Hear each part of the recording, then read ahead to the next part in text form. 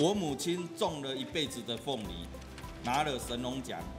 我从小在凤梨园长大，更要把台湾凤梨推销给全世界。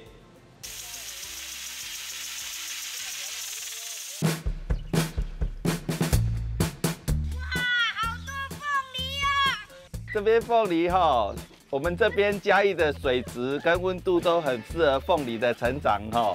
然后主要凤梨的产区在南部，然后像屏东也有很多的凤梨园。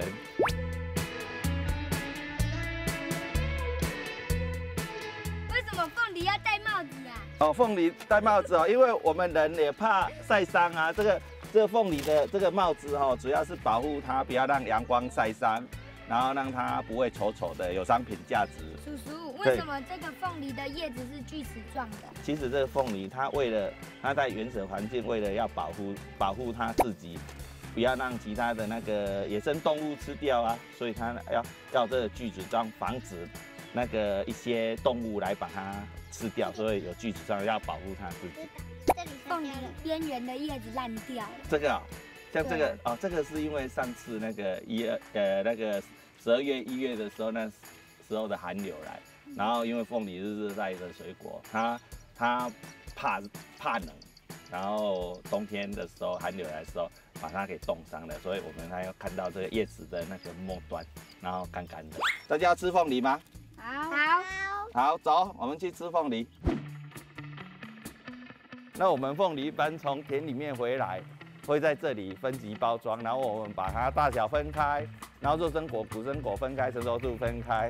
好，那这个像这个叶子，如果要装外销的，下面这个叶子要拔掉。好，对对对，要拔掉。啊，就是一个一个拔哦。对对，要这个要用人人工拔。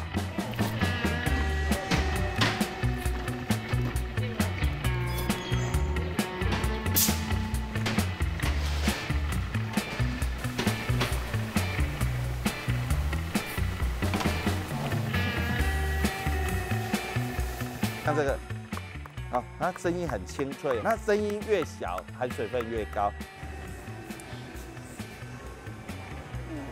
香香的。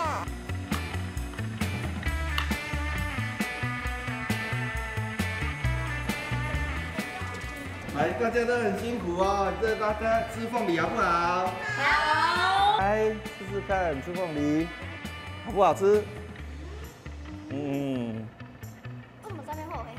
哦，这是凤梨的种子，因为凤梨如果有经过授粉的，它会有种子，而且这种子很珍贵哦。